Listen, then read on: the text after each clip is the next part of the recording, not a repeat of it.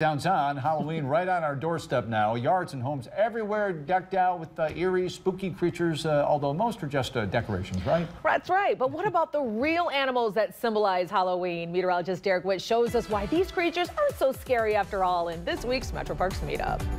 That's right, spiders and bats are Halloween icons, but the only reason you should let them spook you is if you're a little bug. Both spiders and bats are vital to our local ecosystem, and their diet is made up of things we don't like agricultural pests they eat.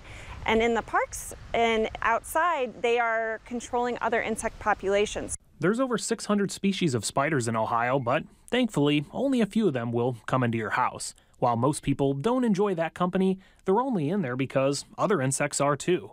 As for their style of decorating, there's different types of webs that they build. Um, every spider can make silk, but not every spider builds webs. Some of them only use uh, their silk for protecting their eggs or maybe just building a little retreat. But hey, at least they don't fly, right? Oh, wait. When they're young babies and in warmer months, sometimes there could be a rain of spiders uh, because they are climbing up to trees and then putting a little silk out and they can fly a few yards or they can fly miles. As for the more traditional winged symbol of Halloween, we have 10 species of bats in northern Ohio, and they also help control insect populations. All of our bat species are insectivores. In Ohio, you don't have to worry about any bats that suck your blood. People think that bats are swooping at their heads, but really they're swooping at the insects that are around you. It's actually a myth that bats are blind. In fact, their eyesight is very good. They also have their infamous echolocation to aid their aerial hunts. Unfortunately, a lot of our local bats are in danger due to a fungus known as white nose syndrome.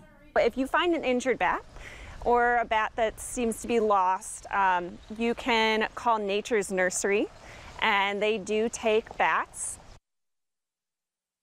Those bats are most active during the evening hours, and the species that live in our region are quite small. With their furry little faces, some might even call them cute. With this week's Metro Parks Meetup, I'm Derek Witt.